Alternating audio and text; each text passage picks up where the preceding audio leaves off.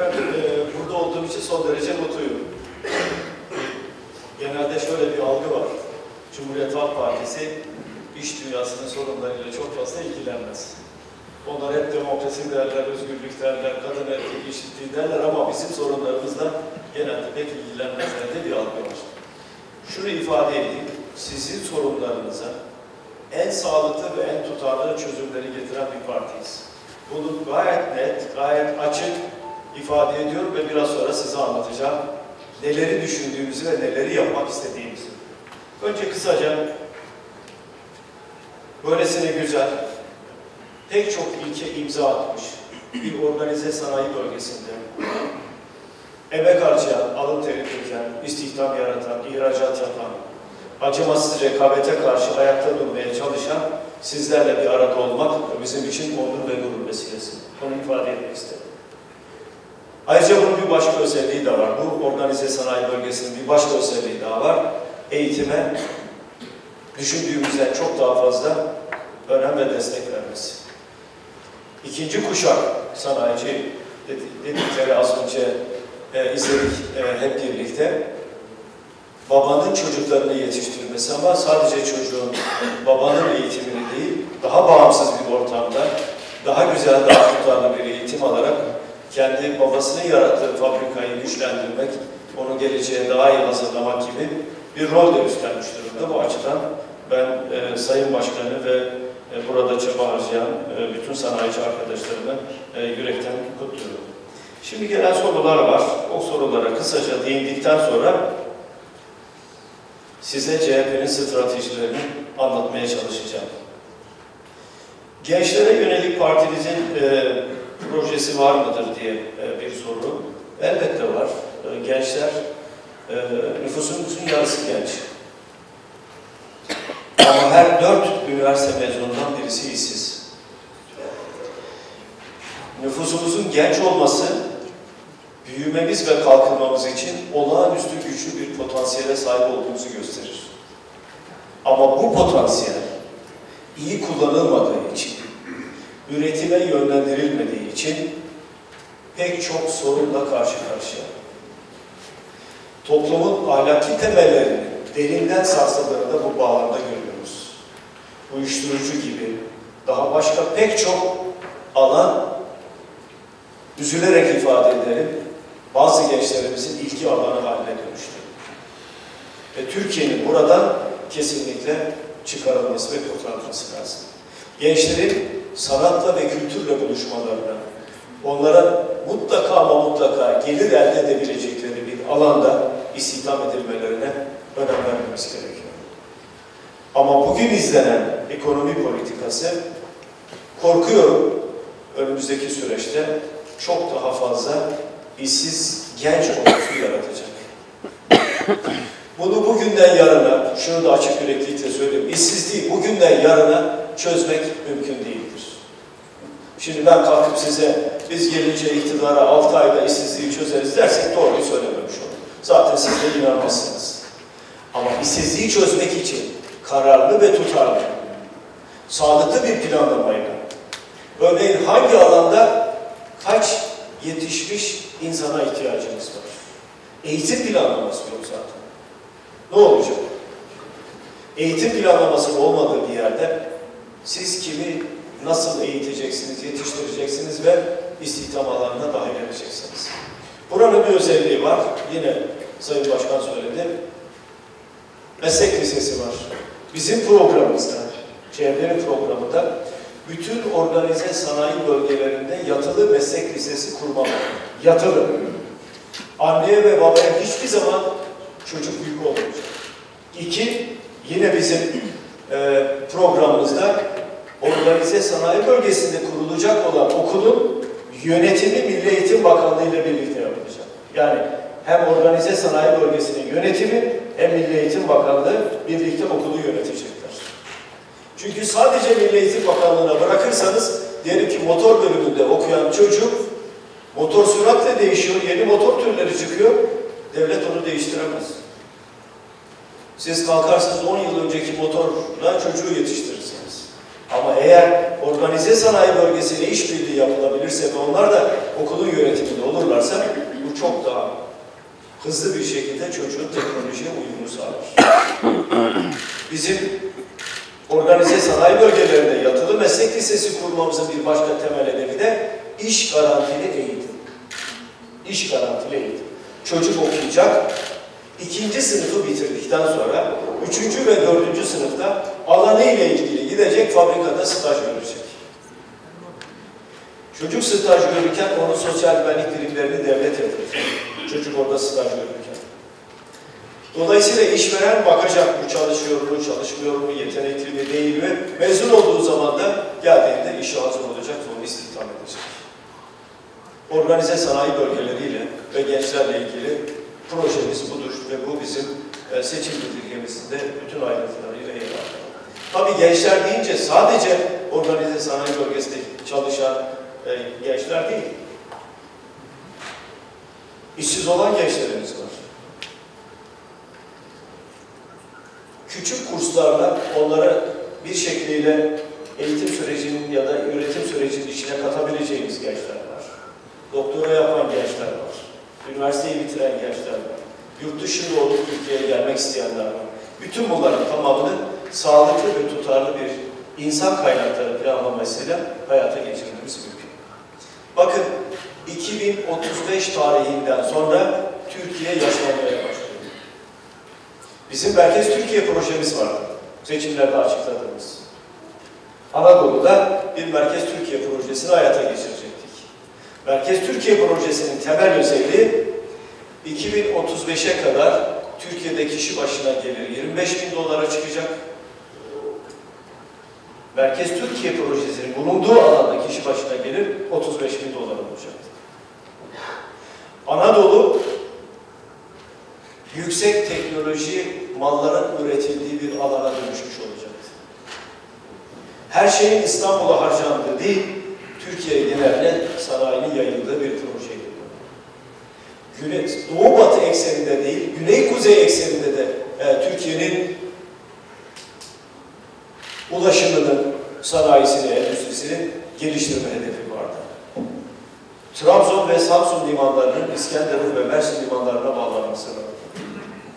İpek yoluna bağlanması vardı. Bizim geliştirdiğimiz bu proje, dünyada uygulanan bir kısmı yapım aşamasında olan üç büyük projenin dördüncüsüydü. Bu yapılmak zorunda arkadaşlar. Kim gelirse gelsin bu projeyi bir gün hayata geçirmek zorunda. Bu projenin bir başka özelliği vardı. Bu proje aynı zamanda Orta Doğu'da barışın güvencesi olan bir projeydi.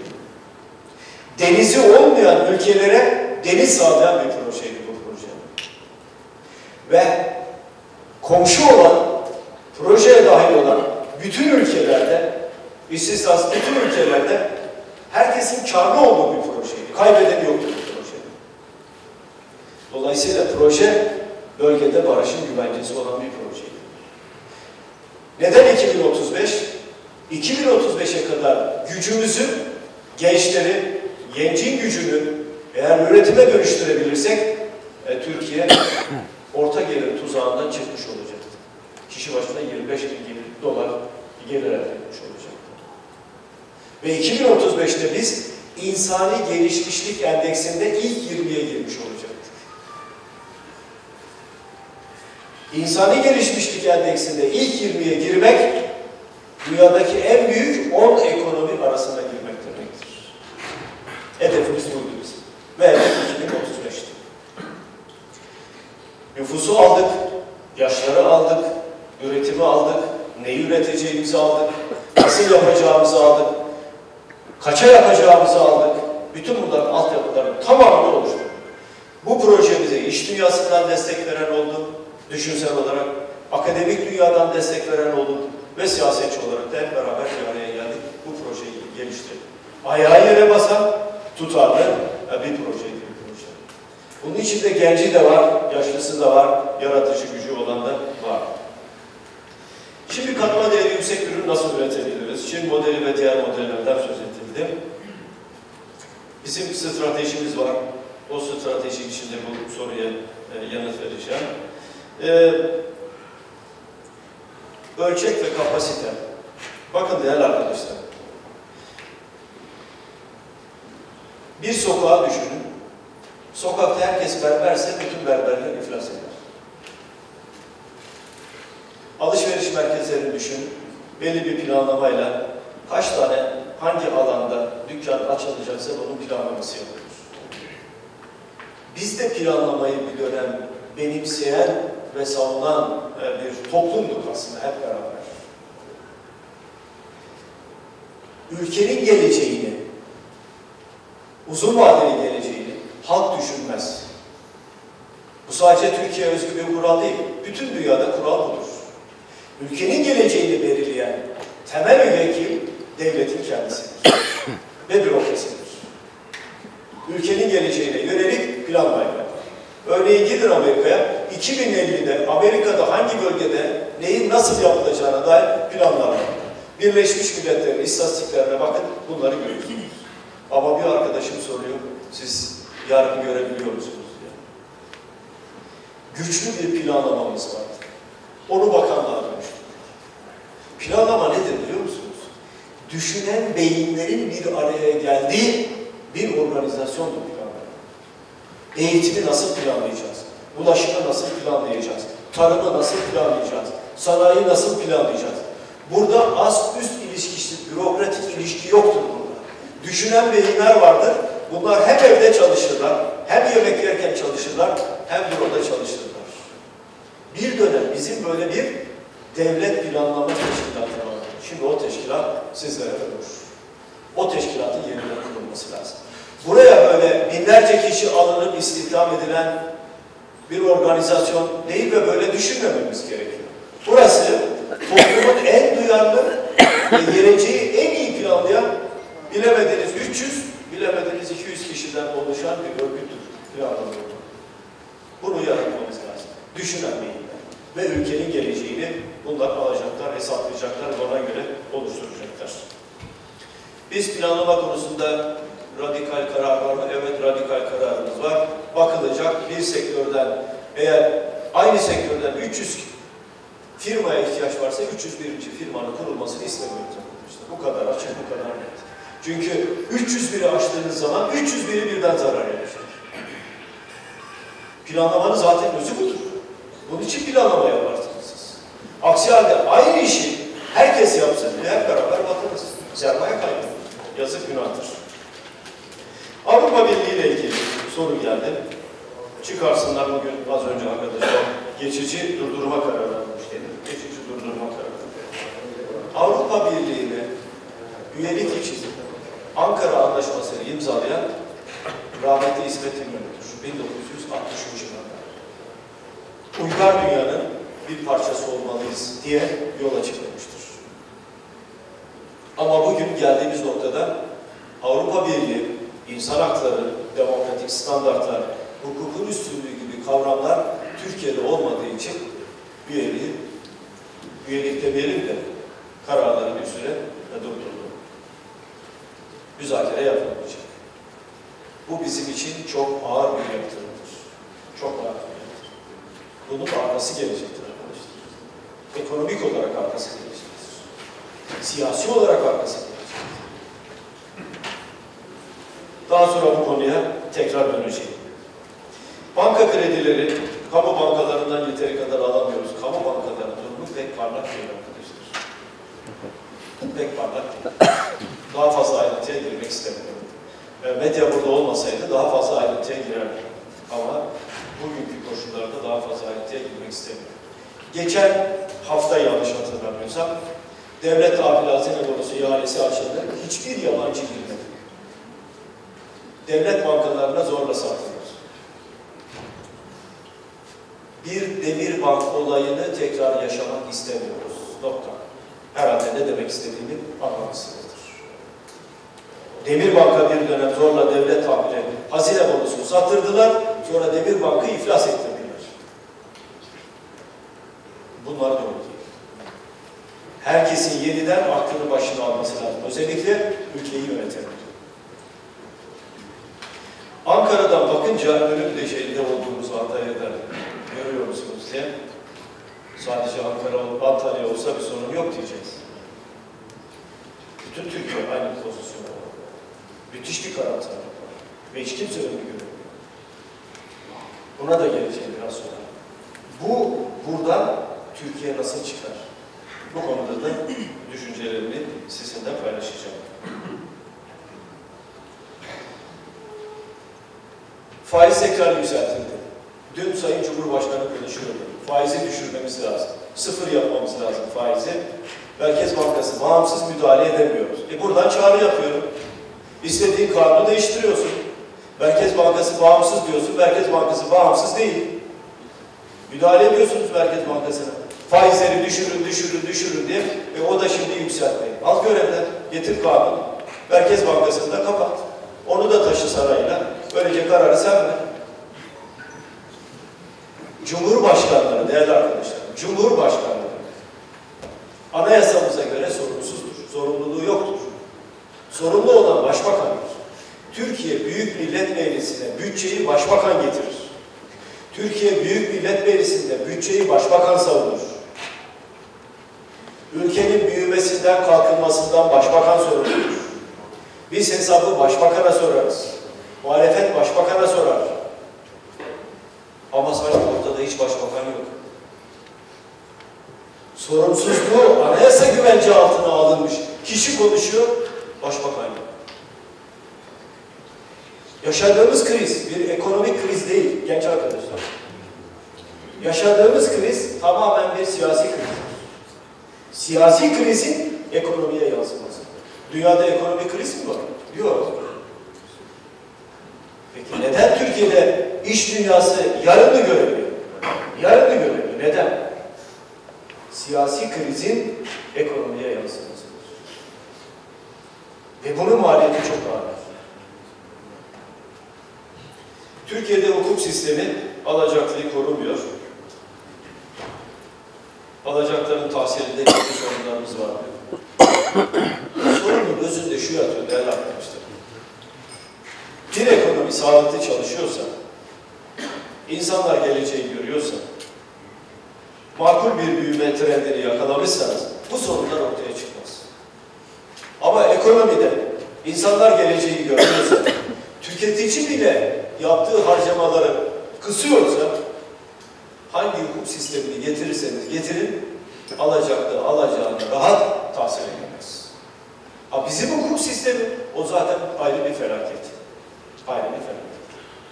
Ben bütçe görüşmelerinde Adalet Bakanlığı bütçesi görüşülürken o Adalet Bakanlığı bütçe gerekçesinde alacakların tahsilinde mafyanın daha etkin rol oynadığına dair cümleler var. Ben bunları gayet iyi anlatıyorum. Çünkü hukuk sistemi bizde çalışmıyor. Hukuk sisteminin sağlıklı çalışması için yargının bağımsız olması lazım. Adalet dağıtacak. Çünkü yargı. Peki yargı adalet dağıtıyor mu? Hayır. Türkiye'de adalet var mı? Kim istiyorsa, hangi siyasetçi istiyorsa, Türkiye'de adalet vardır diye ben onunla her ortamda tartışmaya hazırım. Bakın bu kadar açık, bu kadar ne söylüyor. Türkiye'de adalet denen bir şey yok. Gücün adaleti var. Gücün. Üstünlerin hukuku var. Hukukun üstünlüğü. Bir İtalyan hukukçu şö- şöyle söyler. Kanunlar güçlülerin delip geçtiği, zayıfların da takılıp kaldığı hukuk metinleridir der. Adaletin olmadığı yerde hukuk budur arkadaşlar. Güçlülerin delip geçtiği ama zayıfların da takılıp kaldığı ve adalet arasında bir mekanizma. Türkiye'nin geldiği mekanizma budur. İhbar ve kıdem tazminatı konusunda partinizin görüşü nedir? Biz emekten yana bir partiyiz. Emeği savunuyoruz. Herkesin evinin, işinin, aşının olmasını isteriz. Ee, makul düzenlemeler içinde e, işçinin de hakları korunmasını isteriz. Ee, üretim oldukça, istihdam oldukça e, huzur gelecektir. Biraz sonra belki bu konuda e, biraz daha ayrıntıya gideceğim. E, varsa işlerini sıkıntıya sokan düzenlemeler, e, onların giderilmesiyle ilgili biz şahsen elimizden gelen her türlü çabayı gösteririz. Ve çünkü Türkiye'nin özü ve temeli üretimdir. Üretirseniz güçlü olursunuz. Buna da biraz sonra biraz daha ayrıntılarıyla gireceğim. Bizleri seven karşılayan, seveceklikle karşılayan parti örgütleriyle ne zaman karşılaşırız diye e, bir soru geldi. Böyle örgütlerle tabii karşılaşmamız gerekir. Herkesin sorumluluğu vardır. Bu sadece bizim partiye özgü değil. Her partinin, siyasete giren herkesin siyasete ilgi duysun duyması, herkese hoşgörüyle ve seveceklikle yaklaşması gerekir. Bu işin doğasında olması gereken bir olay. Zaman zaman bunu aksattığımızı biz de görüyoruz. Bu eleştiriler geldiğine göre yönetici arkadaşlarım da burada. Umarım onlar da e, bu yöndeki temenniyi kulakların bir tarafına küpe ederler. Yarın ne olacak bilmiyoruz. İstikrarsız bir dönem diye. Doğru. İstikrarsızlık var Türkiye'de. Dünyada yok ama Türkiye'de var. Bunu aşmak zorunda Türkiye. Nasıl aşılacağını da biraz sonra sizlere aktarmak isterim. Ham maddeyi dövizle getirmek. Bakın yanlış hatırlamıyorsam e, 2009'da döviz geliri olmayanların dövizle borçlanmasına izin verdiler. Bir karar var. Döviz geliri olmayanların dövizle borçlanmasına izin verdi. Şimdi dolardaki bir kuruş, bir kuruş eğer Türk lirası karşısında değer kazanıyorsa dolar, bunun maliyeti 2 milyar 100 milyon liradır. 2 milyar 100 milyon lira bir kuruşun maliyeti. Kime maliyet? Önce üretene, sanayici. Sonra e kendisini korumak için çalışan işçiye çünkü işin, işine son verecek. Geçinemiyor, zarar ediyor. Sonra üretime ve ekonomi. Plansız ve programsız gidilirse bu tür tablolar maalesef ortaya çıkar. E, tarım konusunda, et e, sektörü konusunda sorular soruldu. Dünyanın her ülkesinde tarıma destek verilir. Tarıma destek vermeyen dünyada hiçbir ülke yok. Tarım bütün ülkelerde stratejik sektördür. Çünkü beslenmenin ana kaynağı topraktır ve tarımdır. Türkiye son 10 yılda iki Trakya büyüklüğünde alanı ekmiyor, ekemiyor. Çünkü ekse zarar. Bir dönem Orta Doğu'yu besleyen Türkiye bugün Orta Doğu'dan ithal politika yok. Neyi üreteceğiz? Ve ne kadar üreteceğiz? Plansızlık sadece sanayide değil, sadece eğitimde değil, sadece turizmde değil, tarımda da. Fransız tarımını destekledi diye Türkiye'deki Tarım Bakanı'na Fransızlar madalya veriyorlarsa oturup düşünmemiz lazım. E bunu da en iyi tarımcıların hatırlaması ve hiç unutmaması lazım. Türkiye Cumhuriyeti'nin Tarım Bakanı'na Fransızlar Fransız tarımına yaptığı katkılar dolayısıyla madalya veriyor. Hiç. Oturup düşünmemiz lazım. Çek ve hapis cezaları ile ilgili bu iki tarafı keskin bıçak gibi. Hapsetseniz ne olacak, serbest bıraksanız ne olacak? Ekonomi kötüyse, kişi ödeyemiyorsa bu sorun içinden çıkılmaz bir sorundur. Yani şöyle bakmamız gerekiyor. Sağlıklı işleyen bir ekonomide, güven ortamının olduğu bir ekonomide bu olur.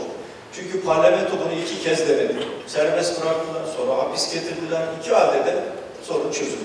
Sorunun çözüm kaynağı dediğim gibi güvendir, hukukun üstünlüğüdür, ekonomide güvendir, ekonomide istikrardır. Bunlar olduğu takdirde bu tür sorunlar minimum düzeyde kalabilir. 2017'yi nasıl görüyorsunuz diye e, Sefa Bey'in sorusu var. Hiç parlak görmüyorum. Tek cümle.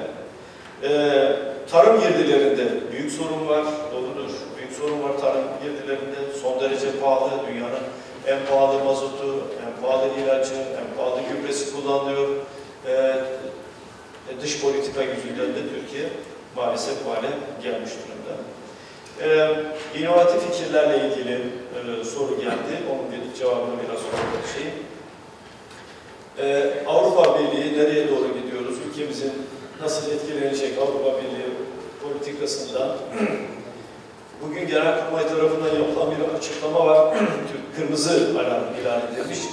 Ee, Fırat Kalkanı operasyonunda yapılan açıklamaya göre rejime ait uçaklar tarafından e, e, oradaki Türk e, birliği ya da askerleri e, bombalanıyor ve şehitlerimiz var, biri ağır yaralımız var.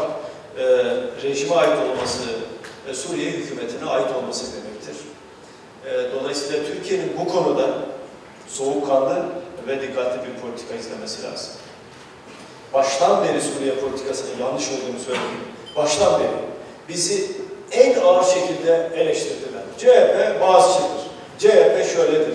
Bak biz gideceğiz Şam'da Merve Camii'nde namaz kılacağız siz karşı çıkıyorsun. Halep'e geleceğiz, Bulsul'a gideceğiz. E buyur git bakalım ne oluyor? Müthiş yanlış bir politika. Dış politika bölümü eğer soru gelirse oraya da ayrıca e, girebiliriz. Türkiye'de hali hazırda ahlaki olarak geldiğimiz nokta maalesef ürkütücü, evet. Cezaevleri ağzına kadar dolu, evet, yer yok.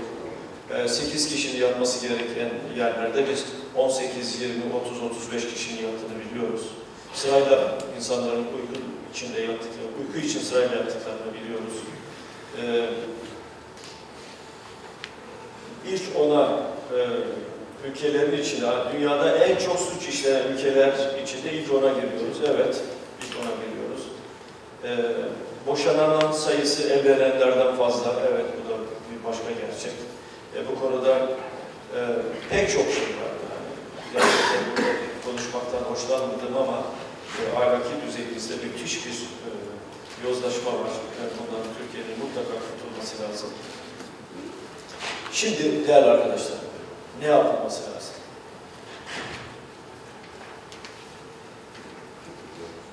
Hatırlarsanız şöyle bir açıklama vardı.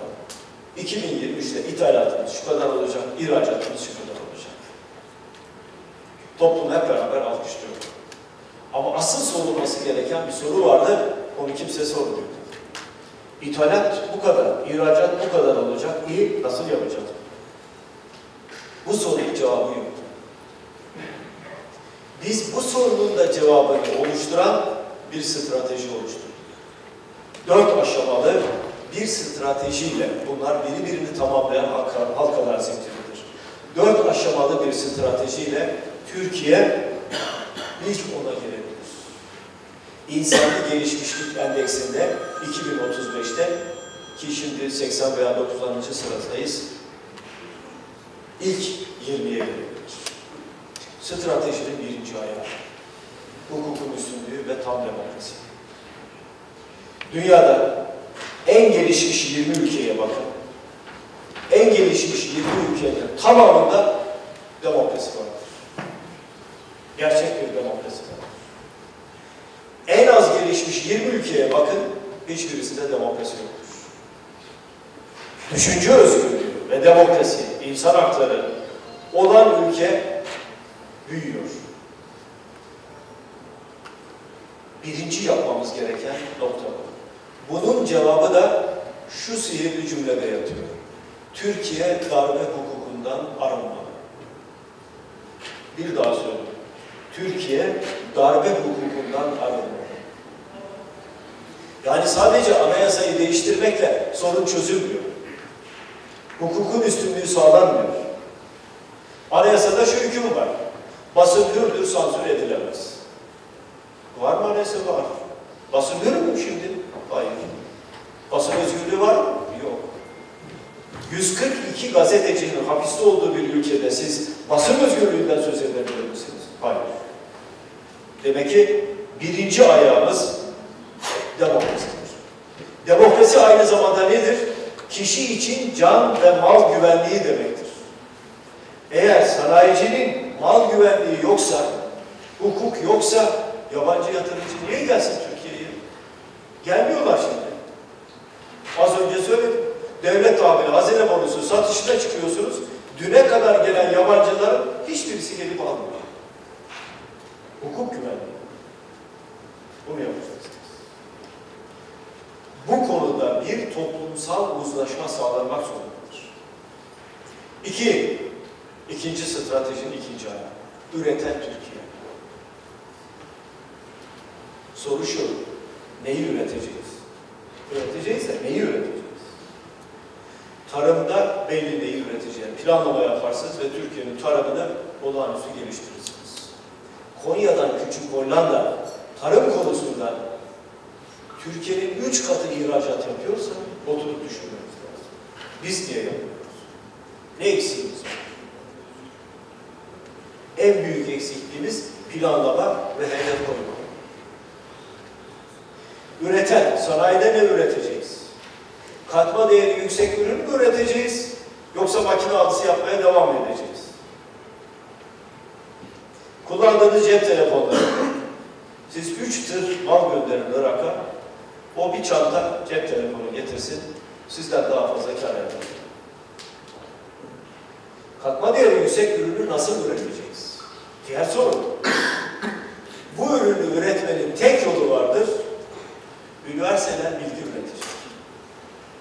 Üniversiteleri bilgi üretmeyen bir toplumun katma değeri yüksek ürün üretme şansı kocaman bir sıfırdır.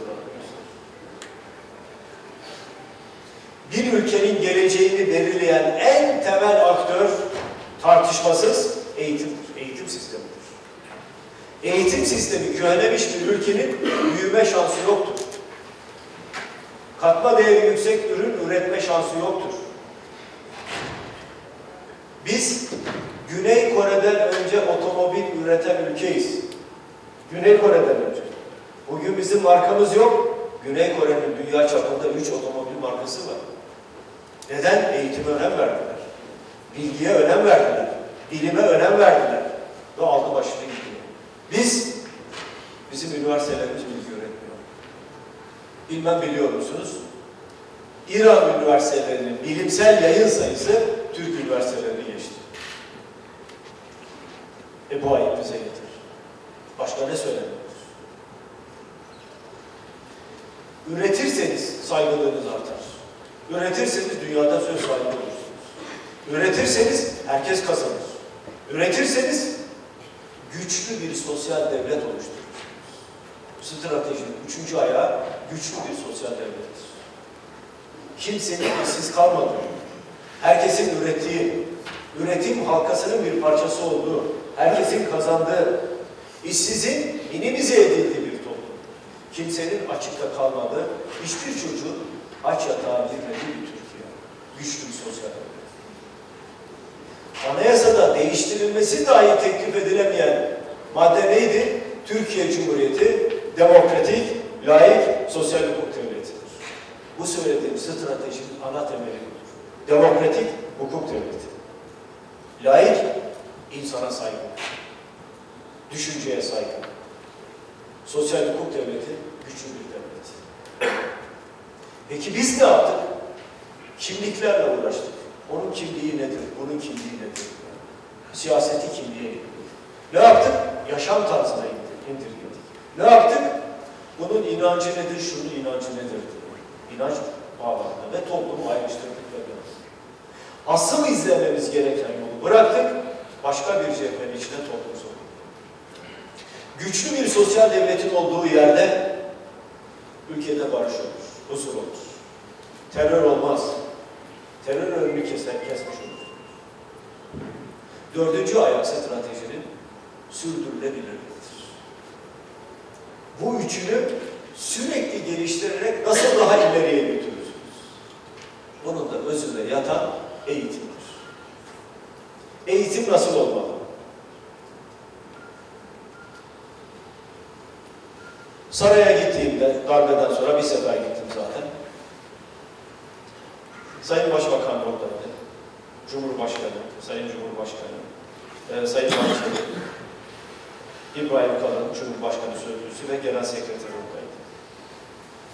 Dedim ki bakın, biz İmam Hatip okullarına karşı değiliz. Bu ülkenin İmam Hatip'e de ihtiyacı var. İlahiyat Fakültesi'ne de ihtiyacı var. Ama siz eğitim sistemini tümüyle yozlaştırdınız. Sorgulayan eğitimden çıkardınız toplumu. Eğer siz kendinizi, çevrenizi, dünyayı sorgulayamazsanız eğitimde yaya kalırsınız. Eğitimin özü aklın kullanmak. Siz aklın kullanılmasına engel olan bir eğitim sistemi getiriyorsunuz. Ben nasıl sorgulayacağım? Ayı, güneşi nasıl sorgulayacağım? Belki espri gelecek ama rahmetli Alem Ay'a gidildiğine, insanoğlu Ay'a gittiğine hiç inanmadı. Hiç anlamadı. Derdi ki orası Allah'ın yurdudur, oraya kimse basamaz. Biz de anneme hiçbir zaman ısrarcı olmadık ya. Anne orada da kaya var, taş var, toprak var. Bak insanoğlu gitti diye inanmazdı. Okuması yazması yoktu. Babasından, annesinden, kültür, aileden gelen kültürle kendisini mutlu hissediyordu. Biz de öyle mutlu olmasını istiyoruz. Ama bugün dünyanın, ayın, Mars'ın öyle olmadığını. Amerikalılar Mars'a uzay aracı gönderiyorlar. Adına ne koyuyorlar? Merak. Ne var burada? Ya insanoğlunun doğasında merak var. Siz bu merakı eğitimle güçlendireceksiniz. Bu neden böyle oluyor? Hep örneğini verin. Adam oturmuş Newton diye birisi elma ağacının altına kafasına bir elma düşüyor. Dünyanın en basit sorusu bir kendisine soruyor. Ya bu elma niye yukarıya doğru gitmiyor da aşağıya doğru? Ve yer çekim kanunu. Oysa dünya kurulalı elma hep düşmüştür. Ama bu basit soruyu kimse kendisine sormamıştır. Eğitim bu taraftır. Eğitimi böyle yapmazsanız inovasyonu yakalayamazsınız. Yaratıcı düşünceyi yakalayamazsınız. Katma değeri yüksek ürün üretemezsiniz. Sokaktaki vatandaşa tel yok, şu yok, bu yok, bilmem ne yok. Ben konuşuyorum Amerika'daki kişiyle aynı anda hepimiz konuşabiliyoruz. Görüntüyü aynı anda al- alabiliyoruz. Cep telefonumuza gelebiliyor. Bunu sağlayan ne? Fizik. Bizim üniversitelerin fizik bölümü kapandı biliyor musunuz? Çünkü adam diyor ki fizik bölümünden mezun olsam nerede çalışacağım? İş yok. Şu geldiğimiz hale bak. Ülke yönetimi, ülke yönetimi sıradan bir yönetim değildir. Sayın Başbakan geçen gün devlet yönetimini belediye yönetimine benzetti. Zaten bu alışkanlık olduğu içindir ki ülke var. Devlet yönetimi farklı bir şeydir. Devlette liyakat dediğimiz bir kavram vardır. Yani işi eline teslim etmek. Aslında inancımız da bunu öngörüyor. İşi eline teslim etmek. Liyakat. Yani işi bilene vereceksin. Bunu da söyledim ben. Sayın Cumhurbaşkanı'na. Devlette liyakat sistemini çökerttiniz, devlette liyakat kalmadı. Bakın bunu çok samimi söylüyorum değerli arkadaşlar. İşi eline verirseniz herkes rahat eder. Çünkü o işi en iyi bilen insan olur. Siz kendi fabrikalarınızda mühendis alırken ne yaparsınız? O işi en iyi bilen mühendisi bulursunuz değil mi? Bakar mısınız onun kimliği nedir bakalım, inancı nedir, yaşam tarzı nedir? Bir şeye bakarsınız. O işi iyi biliyor mu bilmiyor mu? Biliyorsa alır getirir fabrikayı teslim edersiniz. O da o işi yapar. Devlet yönetiminde böyle olması lazım. Şu örneği verin. Liyakatin ne kadar önemli olduğunu anlatmak için. Devlette şef olmak için en düşük kademe şeftir. Şef olmak için üniversite mezunu olmanız lazım. Üniversiteyi bitirdikten sonra KPSS sınavına girmeniz lazım. O sınavı kazanmanız lazım. Önce memur oluyorsunuz. Bir yıl sonra asil memur oluyorsunuz. Belli bir süre çalışıyorsunuz. Şeflik imtihanına girdikten ve kazandıktan sonra şef oluyorsunuz. En dipteki kademe. Müsteşar olmak için 12 yıl devlete çalışmanız lazım. Üst düzeyde görev yapmanız lazım. Peki başbakan olmak için şart ne? Tek bir şart. İlkokul diplomanızın olması yeterlidir. Çünkü orada liyakat söz konusu değil. Devletle hükümetin farkı budur. O nedenle hükümetler devleti yönetmek üzere gelirler. Devlet olmak için değil. Bir siyasi iktidar ben devlet olacağım diyorsa o ülkeyi felakete götürür. Geldiğimiz nokta budur. Ve siyasi iktidarların eleştiriden kaçınmaması lazım. Tam tersine eleştiriden yararlanması lazım. Ama eleştiriden hiç haz etmiyor. Toplumsal uzlaşma, siyasette olması gereken uzlaşma. Çok önemlidir. Bakın 15 Temmuz sonrası çok önemli bir fırsat geçti. Çok önemli bir fırsat.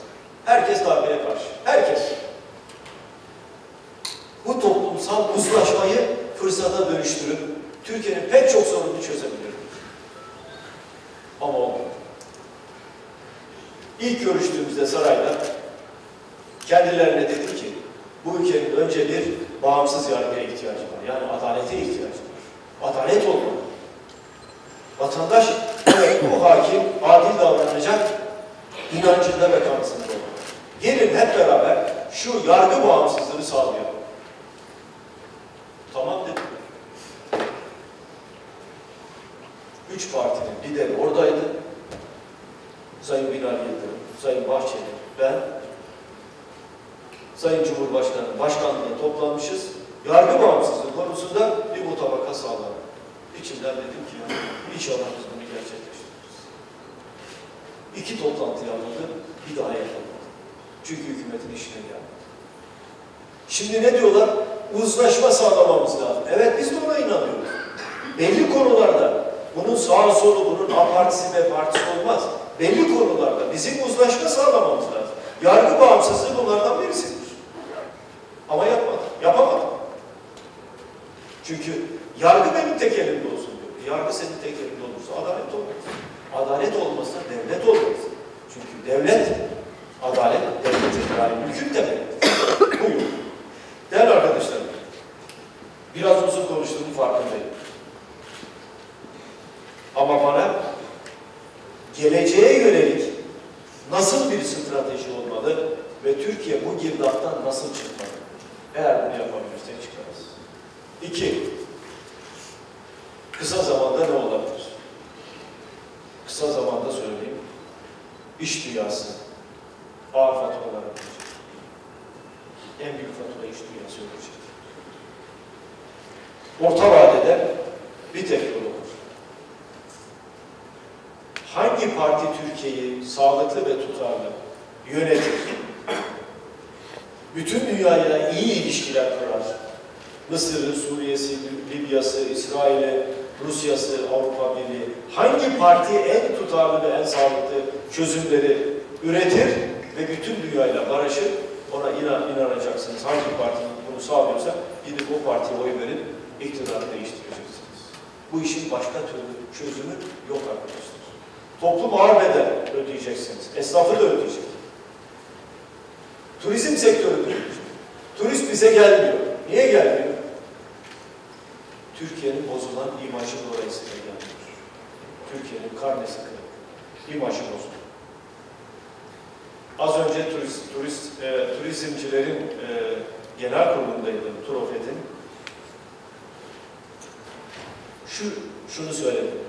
Bir ülkenin cumhurbaşkanı bulunduğu konumun gereğini ve ağırlığını bilmek zorundadır. Konumunu ve ağırlığını, kullanacağı dilin ölçüsünü bilmek zorundadır. Bir ülkenin cumhurbaşkanı Avrupa Parlamentosu'nun başkanına terbiyesiz sözcüğünü kullanamaz. Kullanmamalıdır. Bu şu anlama gelmesin. Efendim eleştirilmesin. Hayır eleştirilebilir. Ama eleştirinin bulunduğu makamla ölçülü bir dil içinde olması lazım. Eğer siz kahvedeki dille konuşursanız Türkiye'nin imajını düzeltemezsiniz arkadaşlar. Asıl sorun şu anda Türkiye'nin imaj sorunudur. Olmayan, gazetecileri hapiste olan, iş dünyasının konuşamadığı, üniversitelerin susturulduğu, pek çok masum insanın darbe gerekçesiyle hapse atıldı. İki örnek verelim. Geçen salı günü iki örnek.